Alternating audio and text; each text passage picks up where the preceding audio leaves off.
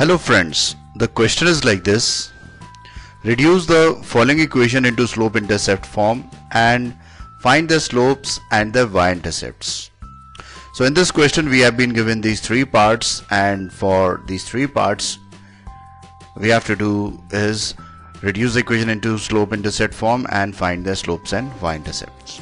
Okay, so to solve this question first of all we note that the equation of line in slope intercept form is given by y is equal to mx plus c.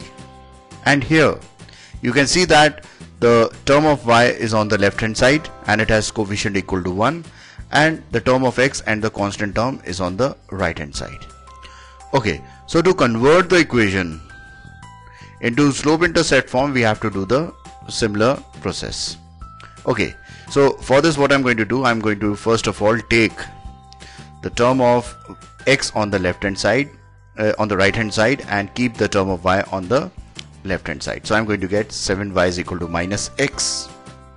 Okay and as you can see that in slope intercept form the coefficient of y is always 1 so I can write this as equal to uh, y is equal to minus 1 by 7x by cross multiplication. And since further since uh, the constant term is not here so what I'm going to do I'm going to add 0 I'm going to write plus 0 so all the three terms are there y is equal to mx plus c. Now if you compare this equation with y is equal to mx plus c so you're going to get the slope as equal to minus 1 by 7 because coefficient of x is minus 1 by 7 and the constant term is 0 so y-intercept would be equal to 0 so this is how we convert the equation into slope-intercept form and find the slope and the y-intercept. Okay, now taking the second part, this is the answer to the first part. Now taking the second part. In the second part, uh, we are going to apply the similar process. Okay, so I have written the term of y on the left hand side and taken the term of x and the constant term on the right hand side. Now I'm going to cross multiply the coefficient of y to the right hand side. Okay so I'm going to get y is equal to minus 6 by 3x plus 5 by 3 so when we cross multiply this 3 is going to divide with both both of these terms.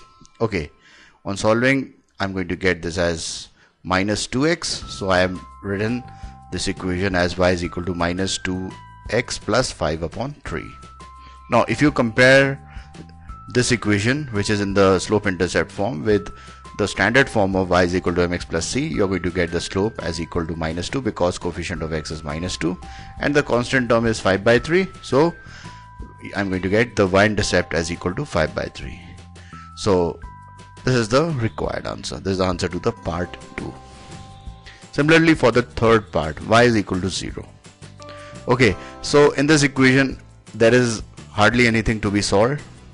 So what I'm going to do I'm going to write this equation like this. Y is equal to 0x plus 0 okay.